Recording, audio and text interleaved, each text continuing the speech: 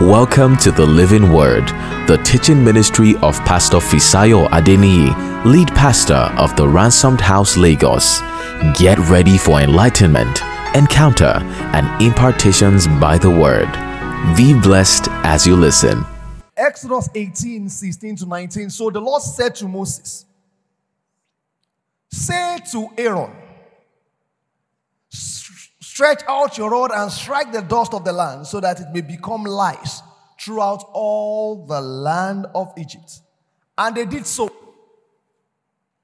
For Aaron stretched out his hand with his rod and struck the dust of the earth, and it became lice on man and beast. Now, listen to this. All the dust of the land became lice throughout all the land of Egypt. Now, the magicians so worked with their enchantments to bring forth lice but they could not. So there were lies on man and beast. Then the magician said to Pharaoh, This is the finger of God. Look at anyone and say, This is the finger of God. How did they come to that conclusion? Because they couldn't do it. So they said, This can only be by the hand of God. But Pharaoh's heart grew hard and he did not eat them just as the Lord had said. Today, for a few minutes, I'm going to be speaking on the signature of God. The signature of God. I, believe that we all have signatures, right? Um, I remember the first time they said I need to I need to sign something. I was in second I think I was in secondary school. It was JSS three. Wanted to write JSS exam, and they said you need to sign. So boys started doing signatures, and we started forming signatures, constructing things. How many of you are still using what you used in JSS 3? You people are not going to change. That's people you know that they are not liable to change. Glory to God. Wow. I mean, I if I even see that signature, it was a construction. I could never have used it again. Glory to God. He had numbers, he had figures and everything. But today, I want to look at the signature of God. Father, thank you because the entrance of your word give light, give understanding unto the simple. As simple folks, we come today to learn at your feet. I make my tongue the pen of a ready writer. Daddy, I write the word of life upon the spirit of your people. After now, make us better people. Let us walk according to your counsel and purpose for our lives. In Jesus' name, I prayed. Amen. You can have your seat even in God's presence. Amen. One of the most popular scams in the world today, and you will find everywhere, is what you call signature forgery. It's one of the most popular, it's one of the most um, dangerous, and one of the most awesome. Now, look at the screen. I want to start by you looking at the screen. Look at that guy. Now, that's an army general, right? Is that so? Uh, that's that. I that's that's a Nigerian uniform. Am I, am I speaking? All right, that's an army general. Uh, his name, by the way, is um, Abiodun Bolarinwa. Uh, what you see actually is a scam because that's a fake army general. That is not a general, actually, but he was wearing everything. He was actually, he forged the signature of the president of Nigeria, uh, President Buhari, and forged the signature of the former president, Obasanjo. And he has, when he moves in the streets, he had um, an escort uh, like a proper army general. In fact, the scam that he did, the last scam, was that he said that they were going to make him the chief of army staff. Uh, and then he scammed one person for 280 million naira. Now that's that's forgery. That's not that's nothing real. Uh, that's make believe. Um, people can believe that and fall for that. And so there are a lot of scams that goes with signature, and that's very real. Now, what is a signature? It's a person name written in a distinctive way. Um, it's, it's, it's your mark. It's how you want to be known. It's your form of identification. Therefore, if you have a check, one of the things I, I was dreaming of when I was growing up was to have a check. All right. I didn't know that finance world would have grown this, this good. Uh, one of the things I felt like riches, a sign of riches, is to begin to cut check for people I say, I, I need 10K, then you sign and cut the check because that was wealth during our father's days. I mean, when my dad signs a check and cuts it, the gives him man, I feel like, wow, one day I'll be cutting check. But but uh, technology means that I've been sending money via transfer, and so I've. I mean, we received a, we had a bunch of check in our house, and I was telling myself that one day, just for the purpose of signing, I'm going to give somebody a check to go and receive. I, I might have, tra- I'll tell you that my transfer is not working because I, I just want to fulfill that thing of that dream of I cut check. Uh, I don't know whether you grew up when checks were cut by our parents, and it, it, was a signature, it was a sign even of wealth. You know, many people have signature perfumes. Um, when they come, you know they are there. I remember a while, in fact, everyone has an odor, everyone has um, a smell. Don't let's use the word odor, everyone has a smell. So that if you are not in a place, um, people would know that you are there or you have been there. Why? Because of your um, the, the, the odor, the fragrance that you carry. I remember one time I was in a room and it was not lit, and, and somebody was calling my name. And I was wondering, how did you know I was here? But he said, I could smell you. You are here. And so I started calling your name. And um, so there are things that shows that you are in a place. Uh, every one of us has a, a fragrance, uh, has, a fragrance about us. Uh, and that's very key. Uh, and so want to look at the everlasting signature of God. What are the divine proofs of God? Because there are a lot of scammers right now, a lot of scammers that make you think God, it's, uh, it's God in the place, it's God in the walk, it's God in the life. Uh, but actually, what they carry, it's actually the forgery of God. Like that army general, it's not really uh, uh, God, but it looks, smells, and feels like God, but it's actually not God. We live in a world where there are many acts and many wonders. Uh, signs and miracles are one of the telling acts uh, even of the supernatural. And that's what you use as the signature of God. Hello. Uh, when, when, there are moves in a place, people falling down. Uh, when somebody say, Pastor, have healed. People kind of think uh, that, that, that, that, that's a signature of God.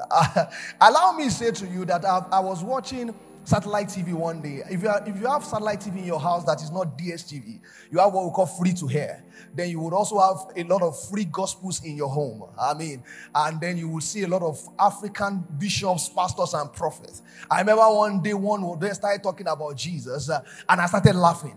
I mean, ah, ah, ah, and after a while he stopped preaching, and then he started. And then it was like drama. People started falling down like packs of cards. And then he said, Oh, that name. And I was wondering, no, there's no name here. There's no presence here. This is scam. There is nothing God here. Even though people were falling, even though it seems to me that there were signs around the place, uh, but there was not God even in that place. Allow me to say to you that signs and wonders are not of God alone. Supernaturals is not just the way you know that God is in a place. Am I going too fast? All right. Um, and let me prove that to you, even in your culture. There's something called the God of there's God of Sango, a God called Sango, and they believe that he's a God of thunder and God of fire. Uh, Amadioha, I think, is fire and all of that. Uh, don't fool yourself. Those gods actually respond by thunders and fire. Uh, don't think they were just boboing people. There was no bobo or uh, video making this period. It's, it was actually very real. And um, it's, it's a sign because that's supernatural. You, you can't create thunder right now. I mean, can you? You can't make thunder strike. So if somebody can make thunder strike, or if a thing can make thunder strike, then that thing must have a, a kind of power. Uh, but that does not mean that that power is of God. Folks, I, I just want to say to you that miracles can be performed by the devil. That signs can be performed by the, by the devil that every supernatural event does not have a source in God. Everything you see that is supernatural, that you cannot explain by the natural, is not every one of them that has a source in God. Some have their source in devils and demons. And that's partly the lesson we read today. Um, before you say, uh, that, I, I, want to show you some scriptures here. All right, that's part of the lessons, we, uh, the text we read today, Exodus chapter 8. You see, if you begin to read book of Exodus, it was about God wanting to deliver, deliver his people. And God told Moses that he would do certain signs and miracles. Are, are you following me? And it was those signs that would prove to Israel, uh, to Egypt, that God was with Israel. And the first thing he did was that he, taught, he, he, he went to Pharaoh and then he put his rod down and his rod beco- he became snake. Do you know that the magicians did the same? They put their rod down. That was supernatural. I mean, if a prophet comes today, even in our country or in Africa, and they put a rod down and becomes snake, and then picks it up by the tail and say, God said I should do this, people will follow him. Because that's a sign. Actually, God told Moses to do that. But they did the same. But the difference was that scripture says that Moses' um, snakes swallowed their own. There were 10 plagues by which God showed himself as powerful in Israel. Uh, to Israel to deliver them from Egypt. 10 plagues the turning of water of Nile, it turned into blood. But do you know the magicians did the same? I began to wonder if you are the king Pharaoh, and then somebody is threatening you He turned the water of now, which is your sustenance, and turned it to blood. And your magicians could not reverse it. All they can show you again is to give you more blood. So what, what are you going to do with blood? But that tells you that these, these devils and demons have power also. Are you following what I'm saying? They could do the same thing also. The Bible says Moses God reply him, second plague, God told him, frogs will come out from the land, from the waters. And there were a lot of frogs, and they did the same also. Trying to say to Pharaoh, don't let them go. There's nothing he's doing that's supernatural. We also can do it. But the Bible says when he when he made night and lights to come out of people, they couldn't do it. That's when they now said, Wow, this is but the finger, the finger of God.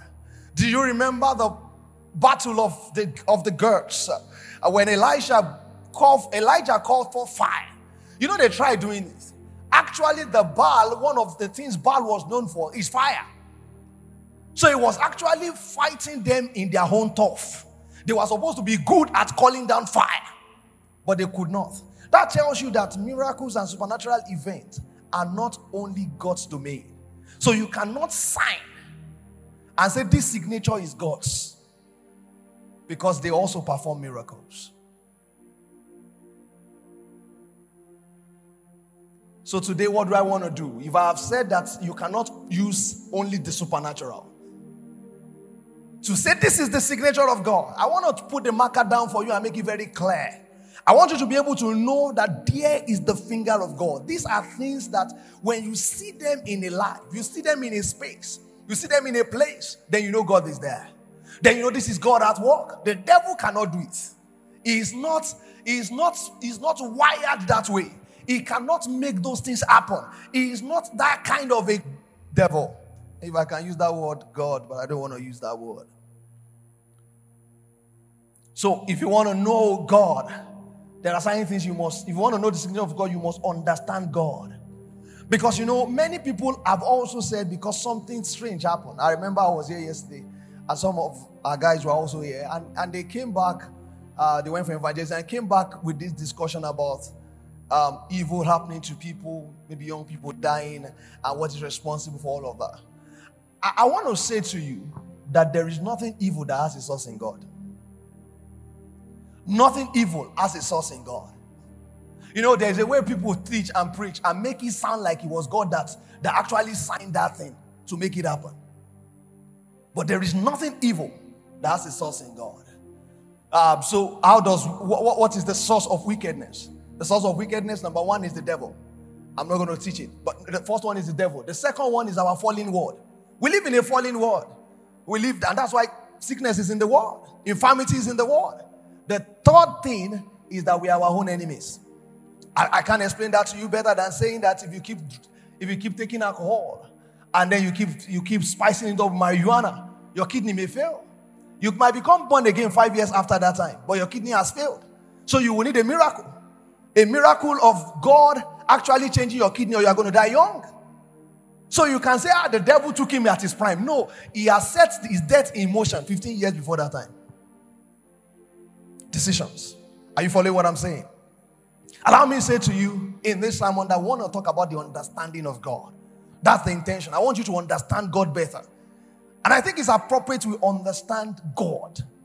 Because if you don't understand God, they will tell you that that is God and will, they, they, there's no God there. People will die and they'll say it's God. Yoruba says, That means it is the doing of God.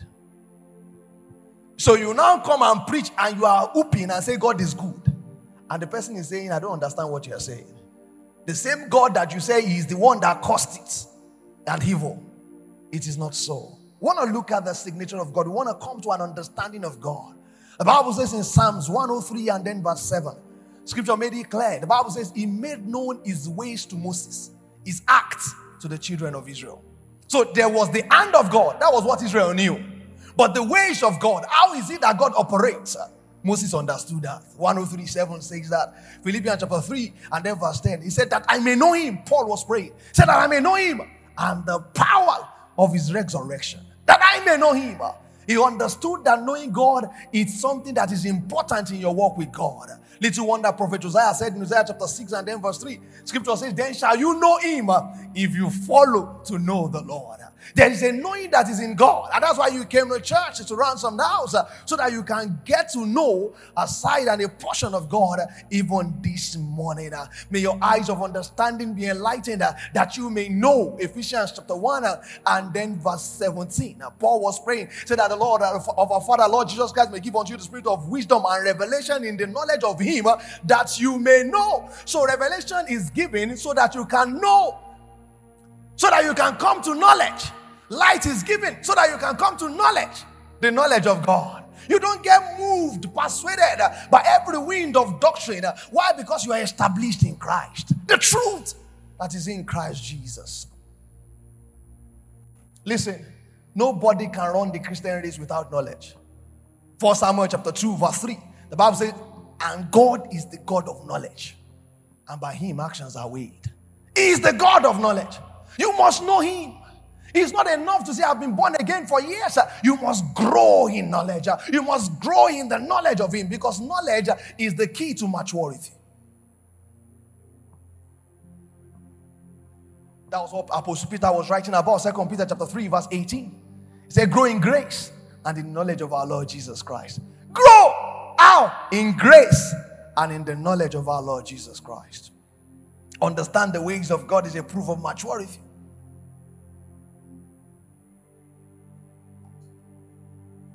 Christians are ever faced with problems. What is God saying? What is God doing? How do I know God is at work?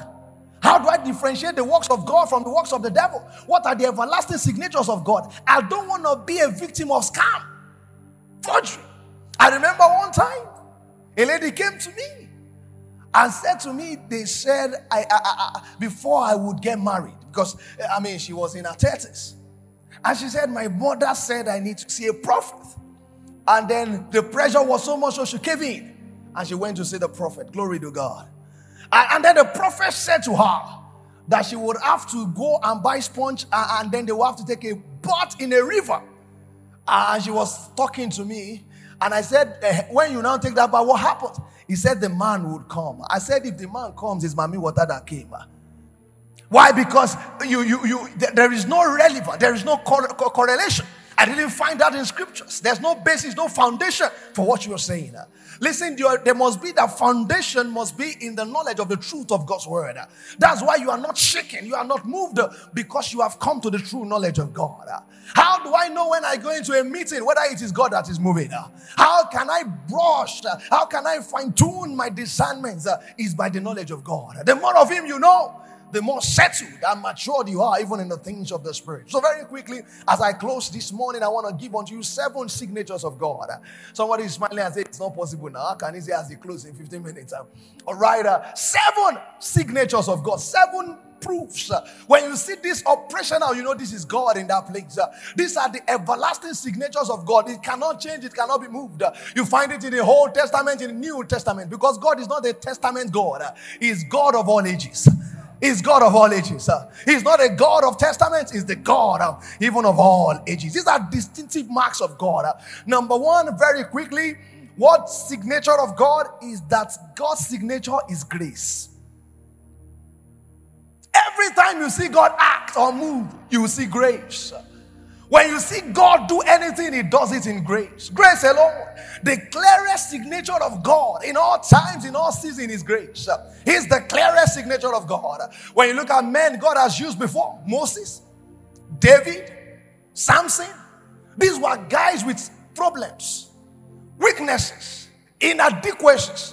Apostle Paul. But one thing counted them out, one thing separated them grace. Grace is that everlasting signature of God. Grace is what God will make that vision come true. It's not because you are prayed, it's not because you are worthy, it's the grace of God. Oh, that's what men found. The Bible says in John chapter 1, verse 14, the Bible says, and we beheld him. He was full of grace and of truth. Full of grace and of truth. Uh, 16 of that same John chapter 1, Bible says, Of his fullness have we all received uh, even grace for grace. Charis ante charis. The Greek actually means grace being piled up uh, even upon grace. And then verse 17 says, For the law came through Moses, but grace and truth came through our Lord Jesus Christ. Listen to these folks. In the Old Testament, people found grace. They found grace. So grace is not just a New Testament phenomenon. It's the everlasting signature of God. Why? Because in the new, in the old, grace was there. Grace was speaking in the Old Testament. Uh, Bible says in Genesis chapter six uh, and then verse eight that Noah found grace with God. Uh, oh, Noah found grace. Noah found grace. You can't find it except it's there. If I tell you to go to a supermarket and you find something, you say, "I found it," it's because it was there. So to find grace with God means that it was with Him. It was with Him. Little wonder, Exodus chapter 3 and then verse 13. Moses was praying, say, if I found grace, uh, even in your sight, that you will go with us. Uh, that was his prayer. He said that you will go with us. If I found grace, uh, and Bible says that God showed him his glory. Why? Because he has found grace. Uh, if you will find grace, God will see you. But let me say this to you. Good news is that in the New Testament, we don't find grace. Because to find means that it is not readily available. It's not always available. But in the New Testament, uh, the grace of God that brings salvation has appeared unto all men. Uh, Titus chapter 2 and then verse 11. uh, The grace of God that brings salvation has appeared to all men. If you will see God act, you will see grace at work. If you see a man used of God, you will see grace at work. You won't be able to explain their moves. You won't be able to explain that it was their effort that brought this great result. You will see grace. The tangibility of grace.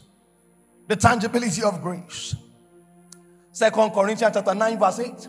The Bible said that the Lord of all grace.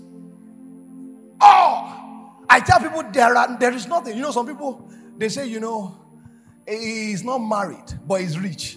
That means they are saying that he has grace for money, but he doesn't have grace for relationship. Are you following what I'm saying?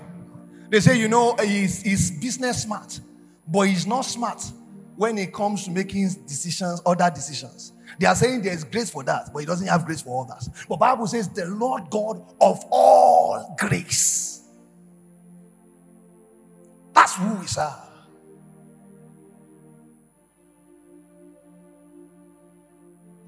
Second Corinthians chapter 9, then verse 8. Ephesians chapter 2, verse 8 talks about grace. What is grace? It is the person of Christ. It is God's supernatural provision for every need. Grace is unmerited favor. Grace. I was speaking to God one day. I said, God, I need a definition of grace. Not what people say. You know, people have had. This is not the first time you're hearing that grace is merited favor. Is that, is that not so? All right. I said, I need a definition. Then God said to me, He said, I said, grace is dash. So if you want the definition of grace, you can actually write that down and say, grace is, and then put dash. I mean, literal dash, just dash. The way they taught you dash in English. Don't put D A S H, just put dash. I said, God, I don't understand. He said, because grace is everything you will ever need and everything you want. So grace is divine help. That's the correct definition. I can fill, the, fill in the dash and fill in the gap. I can say grace is breakthrough. I can say grace is unmerited favor. I can say grace is divine alignment. I can say grace is joy unspeakable. I can say grace is a counter. Grace is glory. And you know, as I'm saying all of those things, even in your spirit, you can't say those definitions are wrong. Because that's it. Grace is everything that Christ has and has given unto you. Grace is everything finished by Christ and done at Calvary. That's what grace is. Grace is God constantly filling up your account. You can't use it up. It's constantly filling up your account. That is grace. Grace. Hmm. Your grace. I'm nothing without you. Oh, grace. That's on me. Listen, I, I, I like my story because I, I don't even know how some things happen. But I can tell you And I, am going to share some stories and testimonies here. Not because it is important, but because, like D.L. Moody's mother told her, that until you share your stories and practicals, you are not living the Bible. So I want to let you know that Bible is true. So one day somebody told me, uh, how, how, how much does it take to? My, my, my father and the Lord asked me, say, how, much does it take to get to South Africa? I said, ah, no, it's not expensive now. You, uh, you and then you go to VFS and all of that. And then he said, okay, then go and do it. Now listen, this is not where the story is. And then I got there and then they said I should preach in our church uh, in Pretoria. And um, I was preaching to Botswanas, Malawi, people from everywhere. And I was like, ah, you have become an international preacher like this. And, and, and as I began to share the word, of course, what, what did I preach about? I preach on grace. Because I was not standing here based on anything. I came because grace made it possible. I mean, I, I remember I chatted him and I said, I want to go back to Nigeria. I'm tired. I want to go back. He said, That's the money finished. I said, Yes, that's finished. And then he sent me more money. I mean, dollars. He sent me more money. And I, I remember when I was coming back to Nigeria, I had bags of loads of things. Why? I, because I didn't pay a penny. I, I didn't pay a penny. And um, I preached on grace. Now, I remember I preached grace, grace, all grace. That's one of, if you have never listened to that sermon, that's one of those messages that are life messages. I, I remember when I finished that sermon, I sat down and the pastor took that, pastor took the microphone, Pastor Gospel, and he said something. He said, You know, this man that is preaching on grace, he really knows what he's talking about. And, and he said, You know, our church, our church has never given anybody an holiday and a vacation to go to Ekpe before. He was saying it. He said, he said, we have never, I have not heard that anybody went to Badagry based on the finances that he said, but a man that they will call a man and send him all expense paid and say he should go to South Africa and go and rest. He said he has never, he, he said it's, it's not, it's not, it's not the nature of my boss. He doesn't do that. We are not supposed to rest on the heart. He said that he's here. This is, so he knows what he's talking about. You know, if, if you begin to see the traces of things you did not merit, when God begin to single you out out of others, uh, when you see your experience and you look at your lineage and you cannot place it, uh, then you are saying, listen, there is a sign. God has signed over my life. Uh, there is a signature over my life because my story cannot be spoken by processes. When they ask you, how did you get here? And then you say what you said, and they did what you said, and they did not come to the same result then there is a tangibility upon your life uh, that is not upon their life. Uh, there is an extra that is called grace, which is God in your race. Uh, there is a God in your race uh, that makes your race uh, pan out differently than theirs. Grace. You came to Lagos the way they came. But look at your life. Are you the only entrepreneur? You have people booking you, you have people wanting to see you more than others. Look at that. It's just grace. Grace. The first signature of God. Proven. Proven anywhere. And you know why I said it is the signature of God? The devil cannot scam it. The devil does not have grace. It will destroy you. It doesn't, what is unmerited? Even the unmerited destruction, it will overdo it. This is only thing that God alone can give. The second signature of God is love. Love is not a feeling. Can I speak to somebody? I feel, I feel good. I, the way when he calls me, I just feel so good. Love is not a feeling. I can prove it to you. This is not your first relationship. It's about your thought. When the first guy called you, that was where you felt to. Second one, that's where you felt. So you can't base it on feeling because feeling comes and feeling goes. Love is not a thought. Love is not even in definition. So if you are waiting for a definition, you won't have one this morning. Love is an act. Love is what you do. Love is not what you say. And I can prove that to you. If somebody calls you sweetheart and say, you know what, I love you. I love you. I love you so much. I love you so much. And on your birthday, he didn't show up with anything. He didn't even send you text message because that's an act. He didn't send you anything. He didn't send you text message. He didn't do anything. Uh, and even when you had that breakthrough, a major promotion, the guy did not, you send him message to inform me he didn't call you. He didn't do anything. And then four days later, he's kneeling down and said, Will you marry me? You'll be a fool to marry that kind of person. Why? Because his words are not his acts. His words are not his acts. Somebody say, I love you, sweetheart. I love you. I, I, and he does not call you on a regular basis, calls you twice in a week. And then sometimes once in a month. And sometimes he says, I'm busy, you know, I'm busy. You see, when they start telling you they are busy, they are lying. Because they hit. If you can hit, you can call. If you can hit, you can send text message. So when they start saying that, it means there's no commitment. It means there's no full persuasion. So you can do that. Love, the tangibility of that's not that word. The tangibility of love is in action. The tangibility of it. What you can see, what you can process. Tangibility is in action.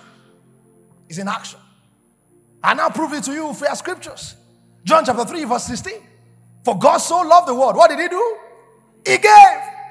If he loved us and he was just saying it, no, no, no. He loved us and he gave. First John chapter 4, verse 10. Not that we first love him, but that he first loved us and gave his son, made his son the very propitiation for our sins.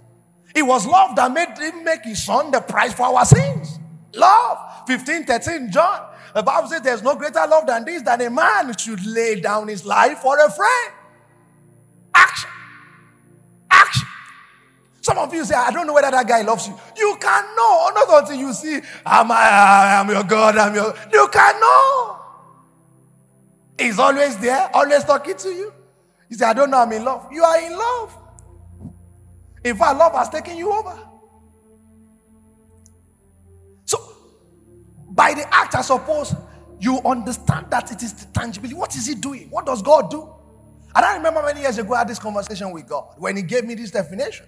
And I began to say to God, I can't, I can't tell people this. You need to prove it to me from scriptures. And then He said, You remember my son? I, I said, I said, What, sir? He said, You remember that I said that Jacob have I loved, Esau have I hated? I said, Oh, I remember. He said, Look at their life. I said, I don't even like that kind of love. Did you read scriptures? Esau was richer. Esau had more, he uh, has more peace. He was rich. When, when, when Jacob came back, he said, no, what do I do with this, my, my brother? I'm already, I'm, I already have enough. He, so if it was the time, if it was resources, material things, no, that's not the blessing. That's not the love of God.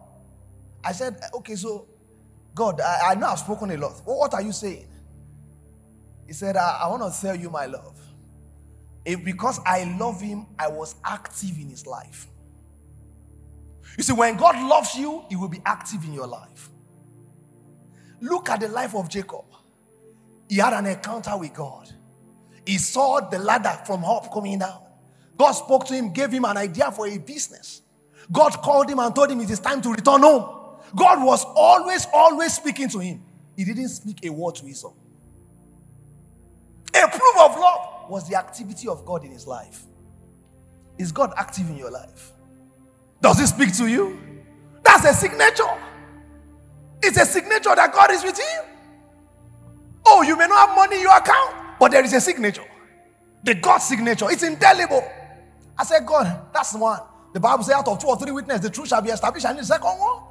And you know what God said to me? He said, and I kept giving excuses for him. Love give excuses. Look at Jacob. If Jacob had come inside and said he wants to marry your, uh, your daughter, would you have given Jacob? He was even called a supplanter. God did not say all of those things. The scripture will explain it away.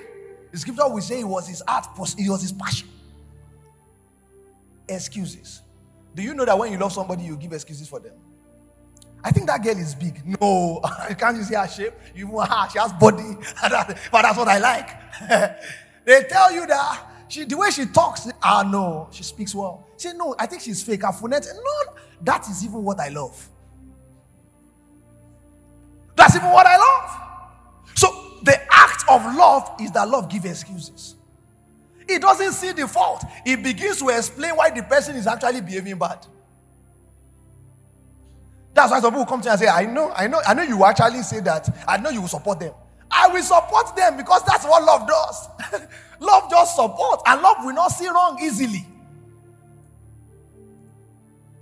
So God does not look at you and say, You did not pray yesterday, I'm angry with you. He actually told he said to himself that he's tired.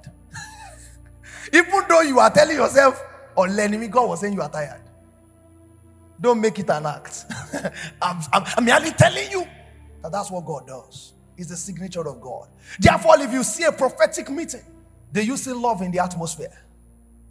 How can there be healings and miracles without love? How can there be healings and miracles without unity? How can you talk to the brethren the way you just want to talk to them? You say things and derogate them, and people are saying that is God moving. No, God is a God of love. He is a God of love. Number three, very quickly. Number three, God's signature is mercy. Mercy means to be kind, to be favorable, to be compassionate. The key point in mercy is the desire to help. So mercy is not um, is not sympathy, it's not pity, it is empathy.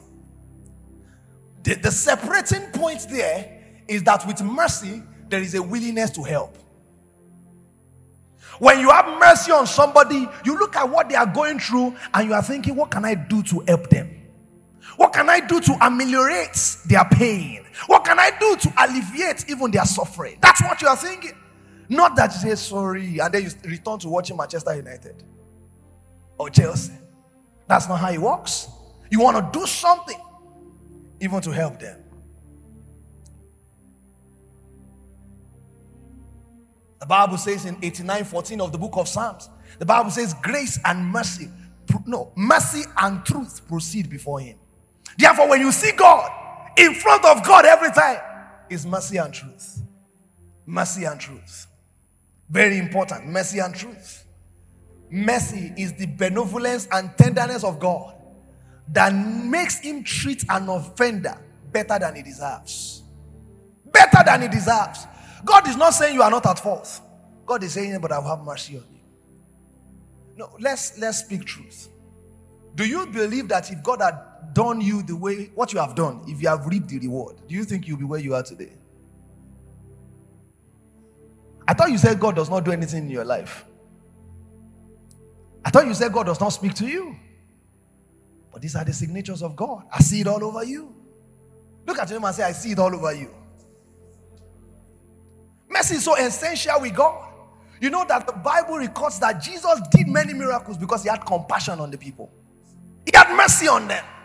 So it was the mercy of God that actually made him to do it. Look at the leper.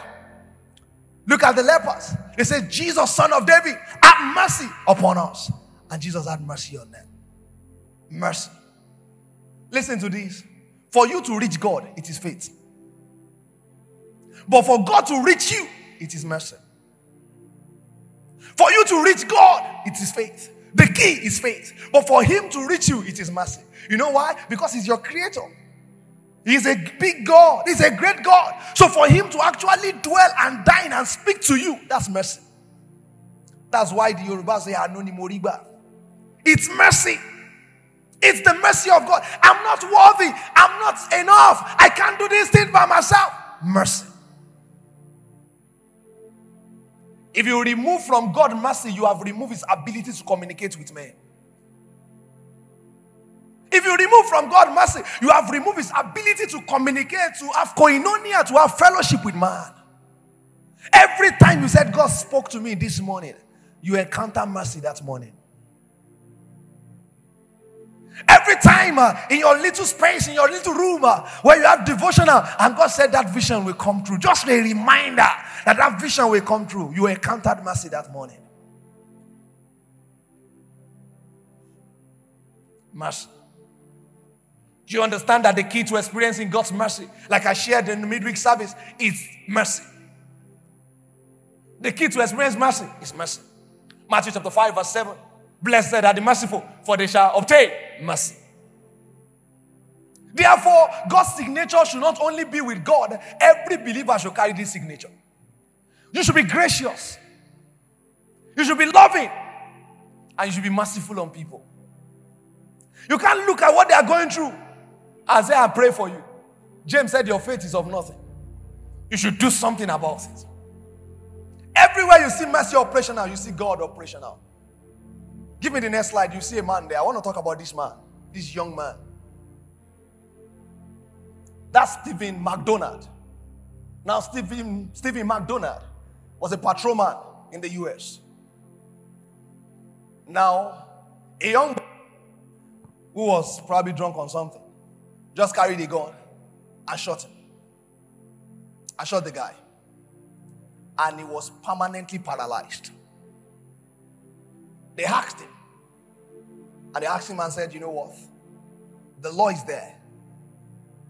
It's time to seek revenge. Oh, you do. And he said, No, I'm not going to seek revenge. I'm not going to do anything. I don't want it. I don't want revenge. I just want healing and I just want to go through my life. Look at what he said. He said, I forgave him because I believe the only thing was than receiving a bullet in my spine would have been to nurture revenge in my heart. The only thing was than receiving a bullet in my spine would have been to nurture revenge in my heart. It was mercy that was speaking. Can I ask you, those who have hurt you? You know, that's the thing about bearing the signature of God. Now you have seen the sign, you also can sign. Are you operating with mercy with people? Are you forgiving? Some of us, we are as bitter as the definition of bitterness. The thing we are carrying around is so bad. Bitterness is like taking poison and expecting someone else to die. Don't be witchcraft be that. To take poison and expect someone else will die. But that's what bitterness does to you. It's slow poison, it kills you, it destroys you. You must let mercy shine on it. You must let mercy shine on it. You must let mercy shine on it. God's signature again is faith. Anywhere you see God operational, you see faith operational. I can look at this, my brother, I say, You will be great. Your future is bright. Oh, I see grace upon your head. I see glory rising upon you. And then he comes and says, Did you hear anything? I didn't have to hear anything. I'm just proclaiming in faith. Faith speaks, faith is in action. Prophecy is about speaking words. First Corinthians 14 and then verse 3. He who prophesies. Speak comfort, edification, and exhortation to people. So as I'm speaking and praying, you also feel good. You feel comforted. You feel edified. And you know what? I'm actually signing like God because that's how God operates. Everything God ever does, He does by faith. The Bible says in Genesis chapter 1, verse 3, and God said. Genesis chapter 1, verse 6, and God said. Genesis chapter 1, verse 9, and God said. 111, and God said. 114, and God said. 24, 27, and God said. What He said was the reality that became. The signature of God. And that's how I know that, that your vision will come true. The vision of a home, the vision of a business, it will come true because the same God that said and it became is the same God that said it over your life. Faith. Faith. Faith. It calls the things that be not as though they were. How many creative thinkers are here? How many strategists are here? How many business moguls are here?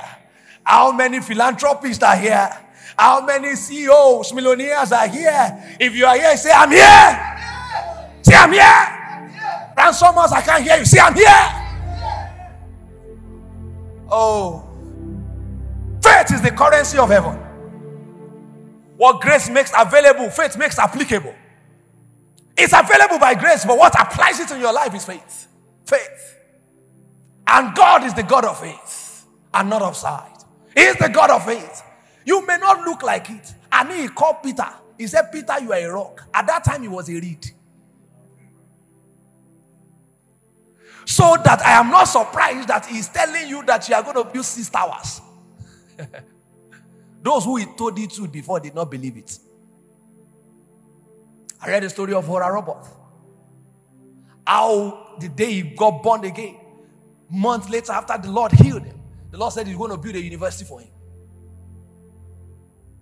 You don't understand. He was born in Tulsa. His father were very poor. His, his parents were poor. They are preachers. You know all those old preachers? Having food and raiment, you must rejoice. Glory to God. And God was speaking and said, You will build a university for me. Today, ORU stand as an evidence that God is faithful? If you look at where you are right now, you may not look like it. If you look at where you are, you may not look like it. But this is just a part of the story. God does not call you by where you are in your story. God tells you, calls you by the involving of your story. He sees the end and he knows the end. He's the God that calls the things that be not as though they were. It doesn't matter where you are. I know the God of things, and because He's in your journey and He's in your story, He's going to pan out exactly the way He said it. What is the hope of the believer? We serve the God of faith. I've got a signature of God in my life, and it is a proof of faith. And that's what it takes also to, to, to live with men. You've got to believe the best from people. You're going to have faith in people's ability. Number five, God's signature again is given. It's given. Now, what is the best thing you have ever given out? Can I ask you? What's the best thing you've ever given out? Think about it. Have you ever given out a car?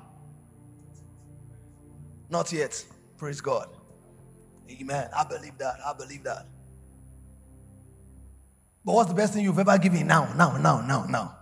Wristwatch, a phone, a laptop. Mine would be maybe a laptop, maybe shoes, I don't know. Cash. Cash. Especially when dollars, perms. But you know the signature of God? Bible says in 832 Romans.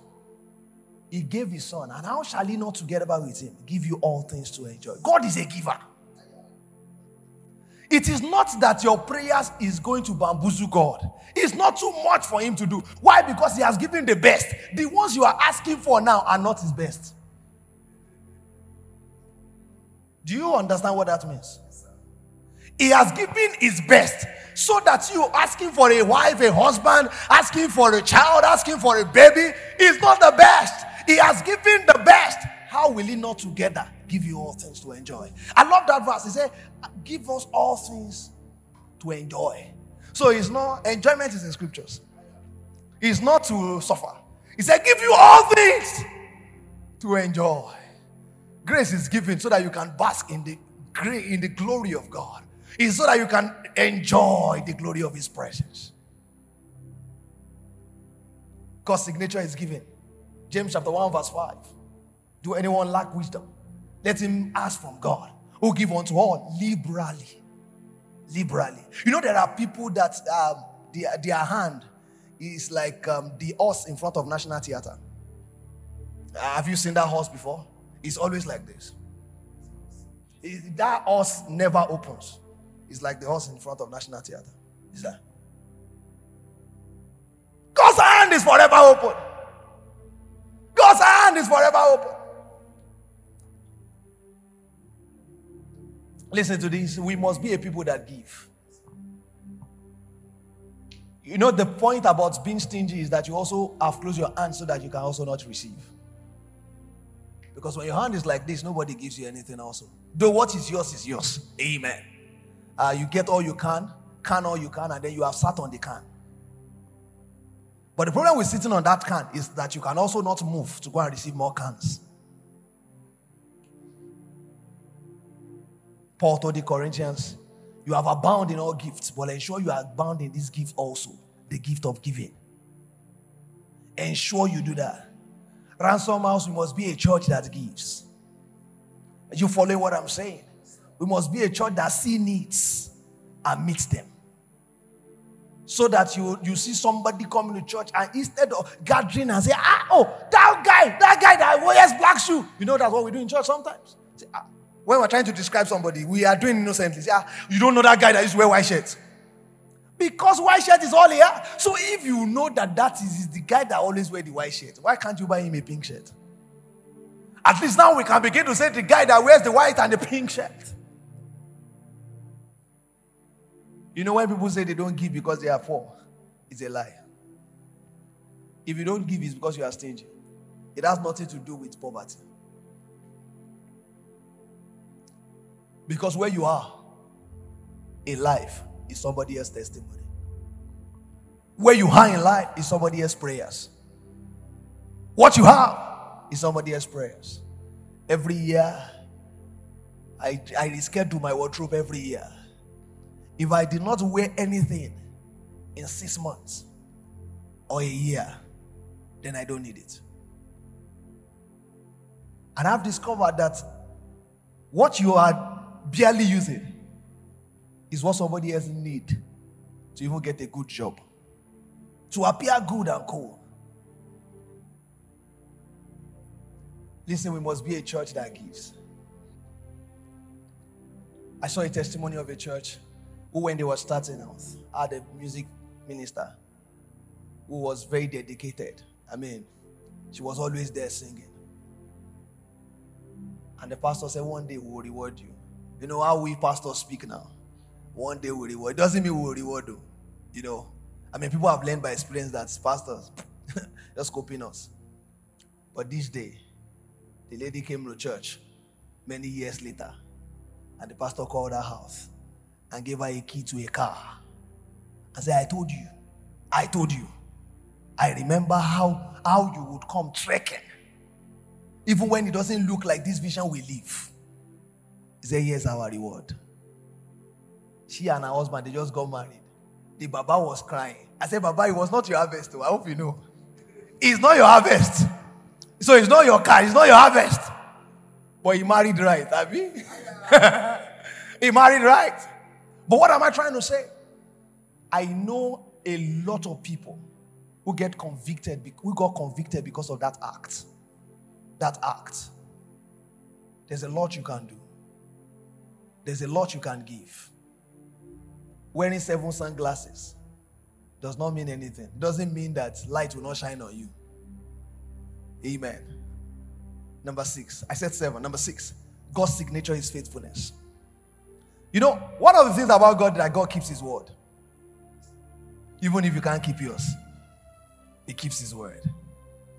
Isaiah 55, verse 10, the Bible says he watches over his word to perform it. So it means that even now, if you're asking me what is God doing, I'm telling you that he's watching over his word. And somebody say, Is he watching over the Bible? No. The personal word he gave everyone on the earth, God is watching over it for a performance. That's what God is doing. In your life, God is watching. That I call this person a prophetic intercessor. He's watching over it. He's watching over it. What's he doing? For a performance. For a performance. And that's what you believe about God. God says it, He will do it. If you said it, you will. You're a man of your word. Just understand the tone. You know the song. Let's continue. No matter how long the promises of God are, it will come to pass. Can I have an amen? It will come to pass.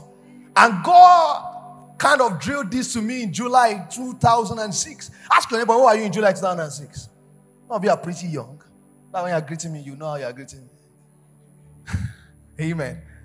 July 2006, he kind of drilled it to me and we're in a fellowship.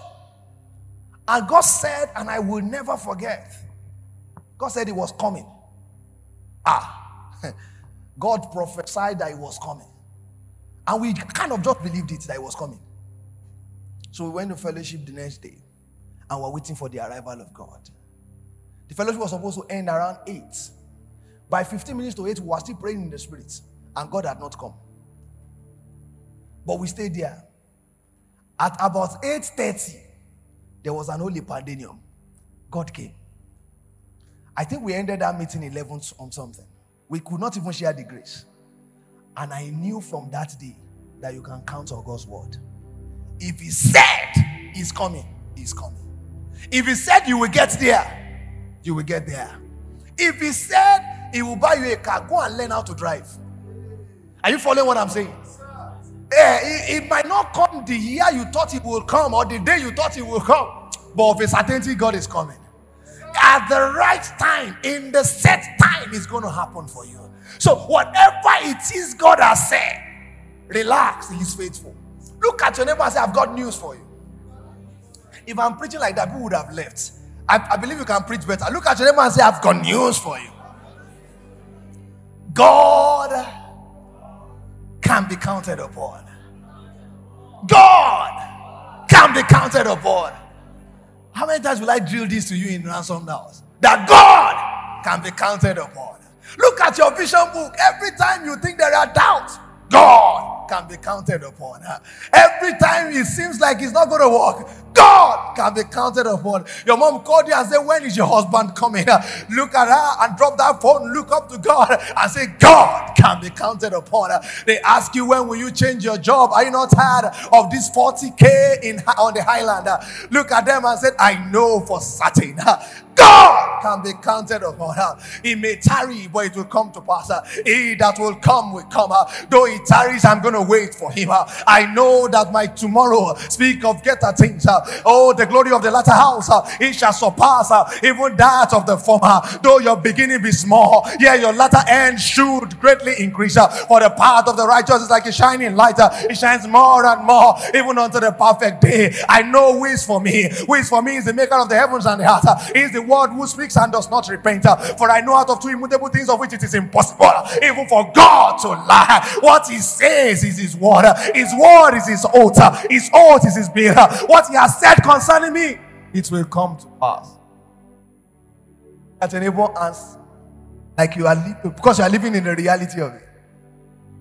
You see, when you the way the way your face was so hard when you came into service, it was because you were doubting the tangibility of the promises of God.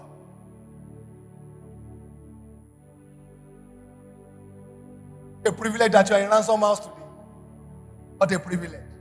That you saw us at this beginning. Because a day would come and you say, I was there. Who do they want to interview? He said, Come and interview me. I'll tell you the story. I'll tell you the story. I'll tell you the story. Why? Because he that will come will come. He that has promised, uh, his law is his bound. Uh, is bound by his word. Uh, somebody said, Did he give you a hold? I said, I don't need a hold. Bible says because he could swear by no greater, he swore by himself. He swore by himself, saying, "In blessing, I will bless you. In multiplying, I will multiply you." Dust. Are you seeing dust? Dust. Every time you see dust, you must remember God's faithfulness. When you see, God told me, He said, Look up. Can you see the stars? If you can count them. That's why sometimes when I'm talking to people, I'm already thinking, can this one pastor in the UK? Can this one pastor in the US? Can this one pastor in Canada? Oh, we are not mad. We are mad on something else. You know why? We are not saying we are not mad. Is your definition of mad that is or incorrect, sir? That's not correct. Understand that we are actually making a difference. Sir. That's what mad is actually making a difference. Uh, with God on our side, we are making the difference. Uh, with God on our side, we are able to take the country. We are saying to you and to everyone uh, that this portion is too small. We want greater, we want more because God is faithful. His signature is His faithfulness. Thank you for listening. This has been the Living Word.